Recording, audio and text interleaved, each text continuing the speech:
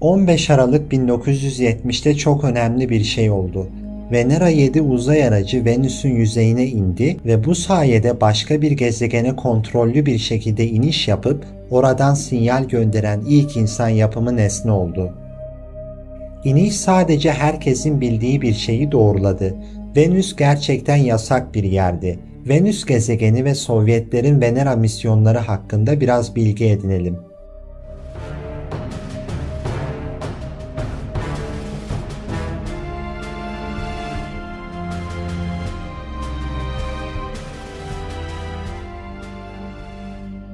Bilim adamlarının Venüs hakkında sahip oldukları görüş her zaman olumsuz olmamıştı.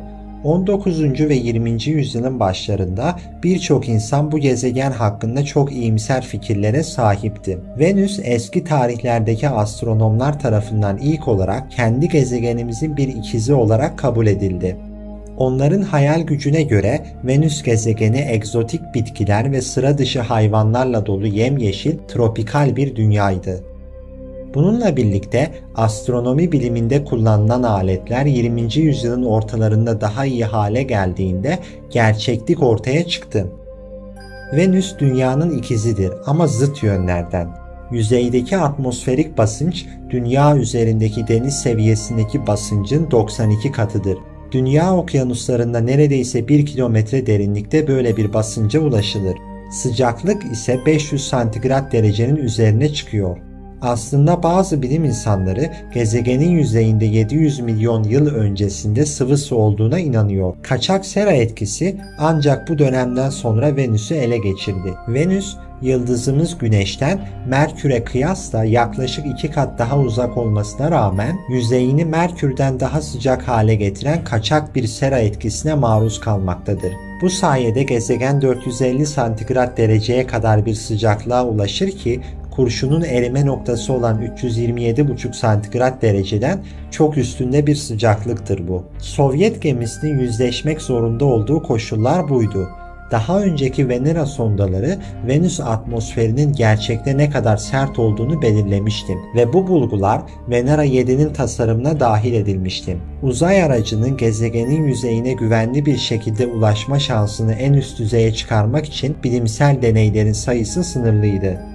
İniş aracı diğer benzer uzay ekipmanlarına kıyasla oldukça güçlü bir şekilde korunuyordu. İniş aracını Venüs'e taşıyan gezegenler arası sonda Baykonur uzay üssünden 17 Ağustos 1970'te fırlatıldı. Kazak çölünün derinliklerinde bulunan bu uzay üssü Sovyetler Birliği'nin birincil fırlatma alanıydı. İnsanlığın ikonik uzay uçuşlarının çoğu dünyanın bu tozlu bölgesine başladı.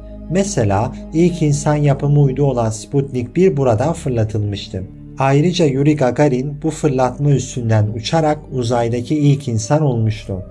Venera sondası Sovyet uzay programının çalışma gücü görevi gören bir roket tasarımı olan dev Molniya güçlendiricisi tarafından dünyanın yörüngesine taşındı ve bu taşıyıcı roket 2010 yılında emekliye ayrılana kadar uzay ulaşımı için kullanıldı.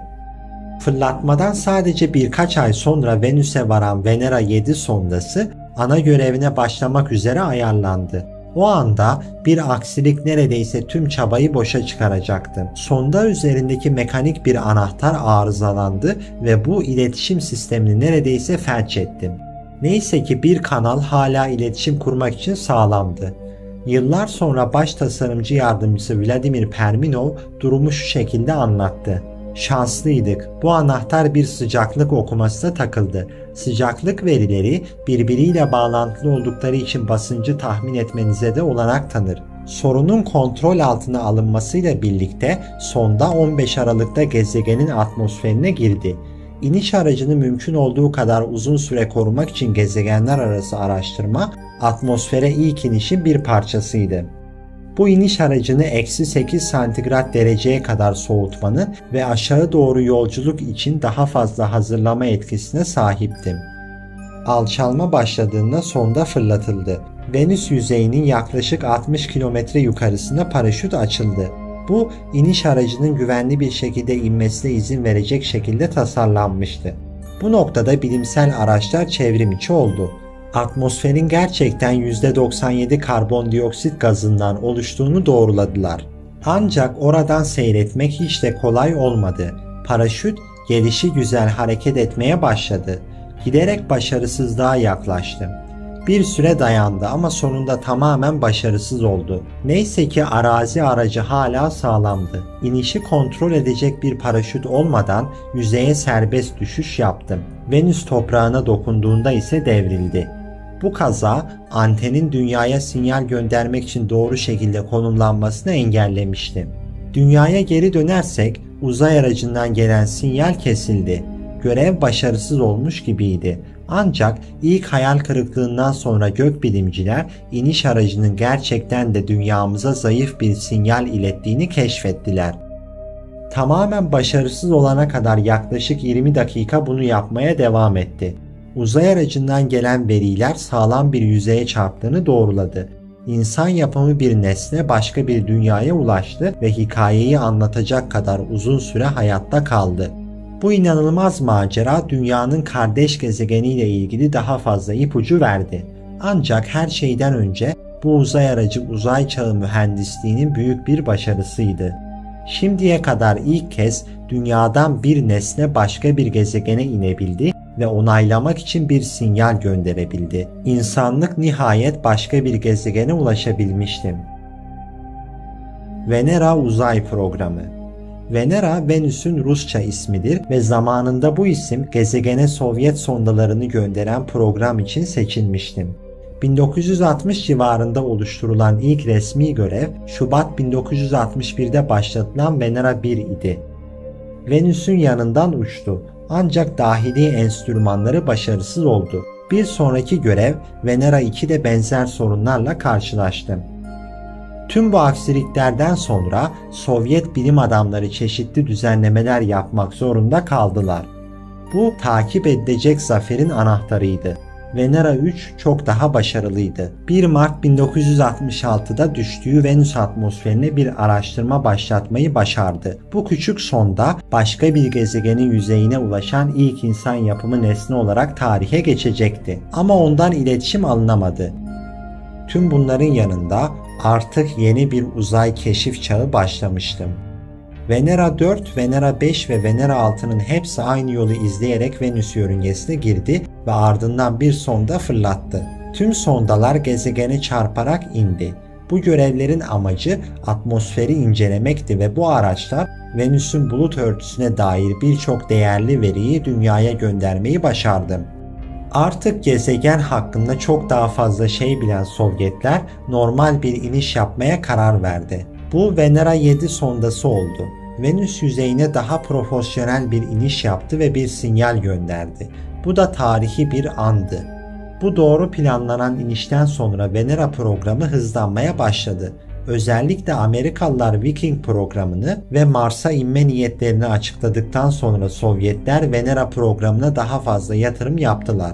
Mars'ı fethetmek için Amerikalılarla rekabet etmenin çok pahalıya mal olacağına karar veren Sovyetler bunun yerine Venüs'teki liderliğini güçlendirmeye odaklandı. Sovyet Uzay Araştırma Enstitüsü Başkanı Roald Sagdev, farklı bir ağırlık kategorisinde çalışmak zorundaydık. Venera tipi görevler 800 milyon dolarlık Viking'e karşı 100 milyon ruble değerindeydi diye yazdı. Sovyetler için Mars'ın keşfi arka planda kaldı. 1970'lere ve 1980'lere giderken Venüs, Sovyetler Birliği'nin gezegenler arası keşif için birincil hedefiydi. Venera 8 devrilmeden Venüs'e inmeyi başardı. Venera 9 gezegen yüzeyinden ilk resimleri geri gönderdi. Bundan sonraki Venera sondaları da ilkleri başardılar. Bununla birlikte 25 yıl sonra tüm program 1984'te sona erdi ve Venera 16 bu uzay misyonunun sonuncusuydu. Genel olarak bu çaba büyük bir başarıydı. Dünyanın en yakın komşusunu incelemeyi, hatta yüzeyine birkaç araç indirmeyi başardı. Edinilen bilgi muazzamdı ve sonunda bize gezegenimizin en yakın komşusunu örten bulut örtüsünün altı hakkında bilgiler sundu. Ancak o tarihlerden bugüne kadar Venüs gezegeni bir muamma olarak kaldı. Neyse ki bu sıcak gezegeni keşfetmeye olan ilgi atmosferinde fosfinin bulunduğunu yakın zamanda duyurulmasıyla yeniden canlandı. Venüs gezegeninin ilginç yanı insanlar onun hakkında ne kadar çok şey öğrenirse o kadar çok dünyanın bir benzetmesi gibi görünmesidir. Gezegenin daha fazla incelenmesi bize birçok değerli ders verebilir ve tüm bunların yanında gelecekte büyüleyici keşifler bizleri bekliyor olabilir.